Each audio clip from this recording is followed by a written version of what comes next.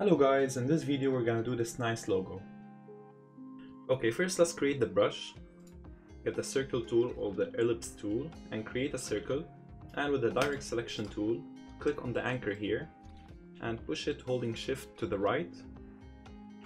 And the other side, push it to the left.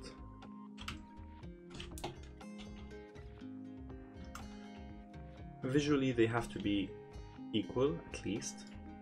This looks fine. And now select this one and go to brushes and just drag it inside. And put art brush, press OK, and then OK. And you can delete it now. So now when you get the brush tool and you click on this, make sure it's a very small stroke, 0.1 maybe. Oh, it's, it turned out to 1. Let's put it on 0.1, enter, and you'll have this. Okay, so let's go to the second step. Let's trace this elephant. Let's create a new layer. I'm gonna delete all the layers I had before. Create a new layer and zoom in. And with the pen tool, let's start creating this nice elephant.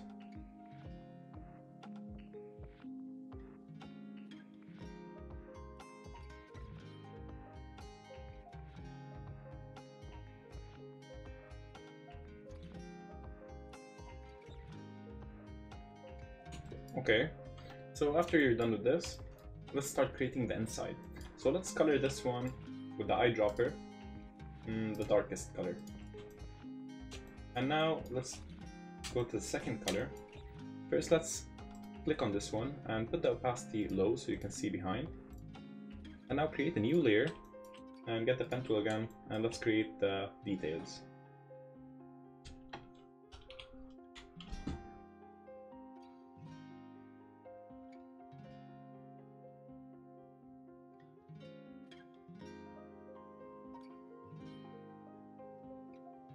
Okay, when you're done with this, select this one, shift the one we did before, and get the shape builder tool, and hold up to get the minus sign, and remove this, and you will have only these lines. So we have to do the same for everything else.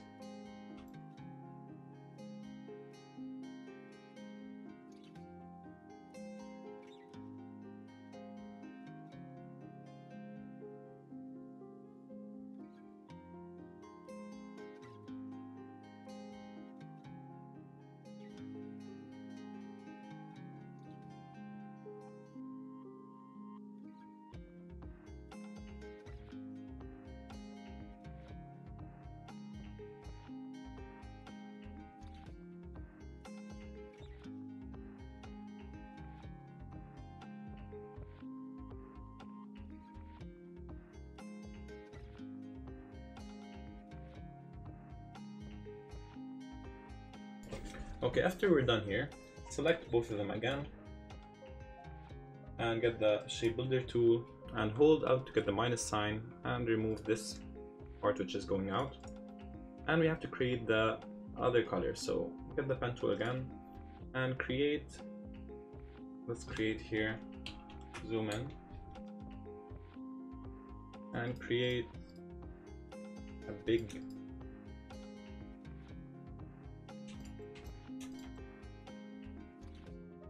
shape here and let's color it with this color here.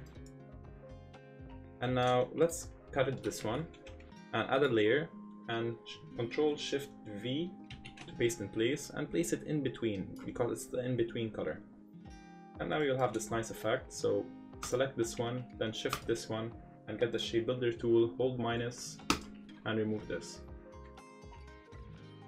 Okay and we have this nice effect and now I think you should click on the back one and put the opacity back to 100.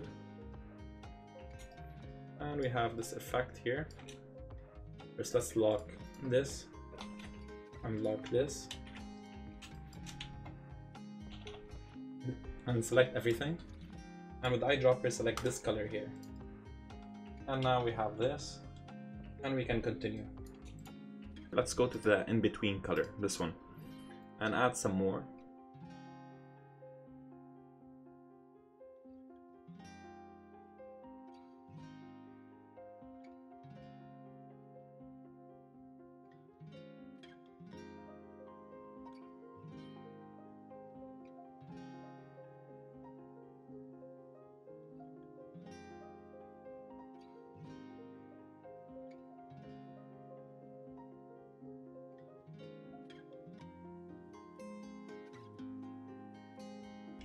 And let's create a big rectangle and create a new layer, place it underneath everything and Control Shift V to paste in place.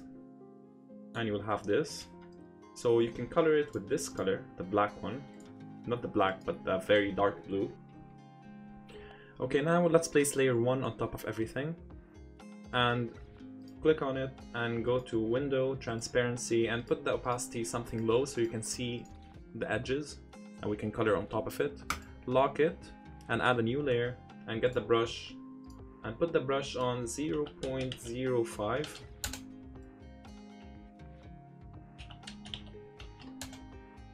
okay get the brush and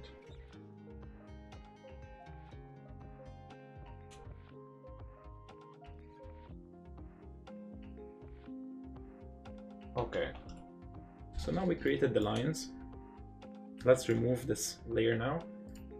And let's create one more thing. Zoom in. And add a new layer. And let's create the trunk. So it comes from here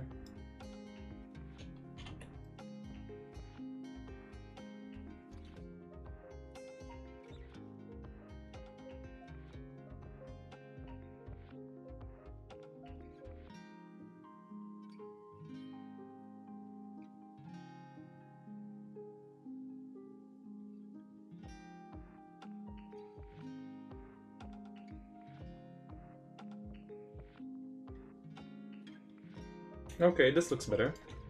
Now let's go back to the layer of this chunks and copy them and paste it just on top. And select both of them and get the shape builder tool and remove these. And color this one with the darker color or maybe this one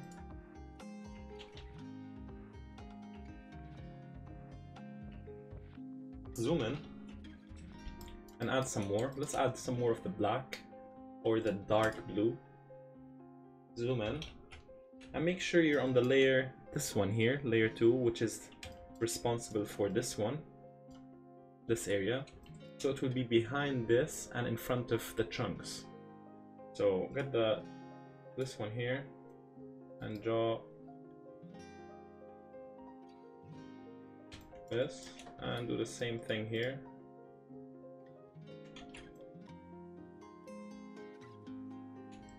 have this and now let's go and create with this this layer uh, maybe create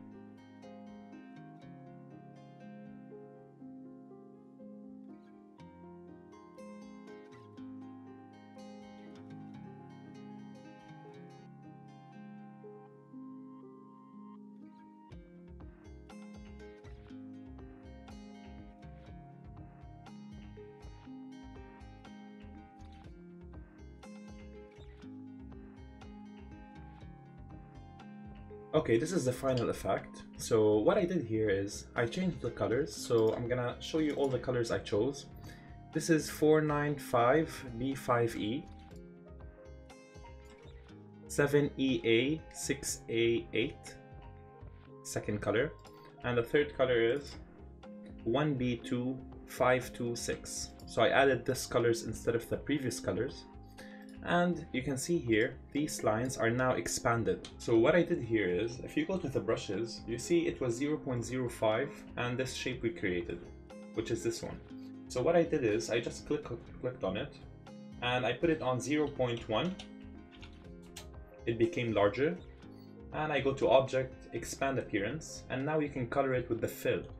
So if you double click here I'm gonna choose green and that's how I just changed it and I just clicked all of them and did the same.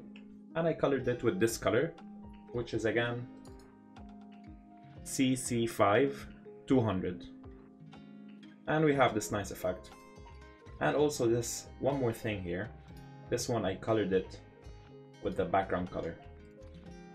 And that's it